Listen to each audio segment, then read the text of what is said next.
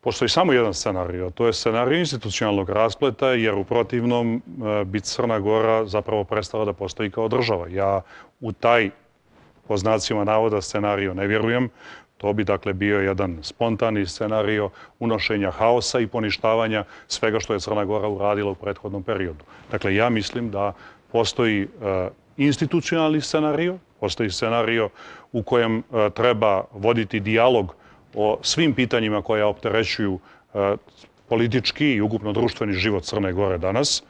Treba ga voditi, da kažem, uz maksimalnu spremnost svih aktera političkog i društvenog života da doprinesu prevazilaženju nepovjerenja i da doprinesu prevazilaženju sumnji koje danas postoje između, da kažem, igrača na političkoj sceni Crne Gore, jer ćemo jedino na taj način doprinijeti da vlast u bilo kom personalnom e, sastavu bude kredibilnija, da bude autoritativnija i da samim tim bude e, fokusiranija i funkcionalnija u rješavanju onih problema sa kojima se crnogorsko društvo danas uočava.